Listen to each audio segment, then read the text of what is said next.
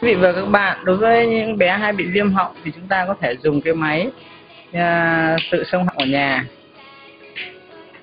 Đây là hình ảnh của một bé đang tự ở nhà bé tự xông. Như vậy chúng ta sẽ rất tiết kiệm được à, thời gian khi đi lên bác sĩ và cũng như là hàng ngày chúng ta phải xông viêm họng cho bé một ngày hai lần thì sẽ giúp cho bé mau khỏi viêm họng viêm mũi và các bạn hãy nhìn xem. Đây là chiếc máy Rosa hiệu của Mỹ. Và thuốc trên sông họng thì các bạn có thể pha, tự pha với công thức ờ, có sẵn. Hoặc là các bạn có thể nhà bác sĩ mua về và chúng ta xông tại nhà.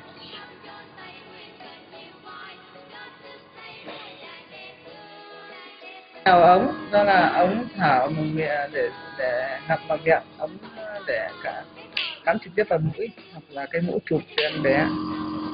Chúng ta có thể nhìn.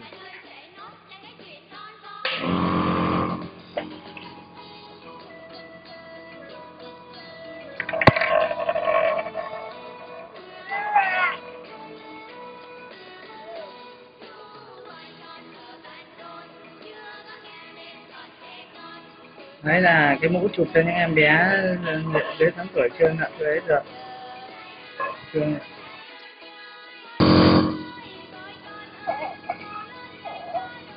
và đây là mẫu chụp dành cho em bé hiếu động hay là em bé giữa tháng, em bé có thể biết được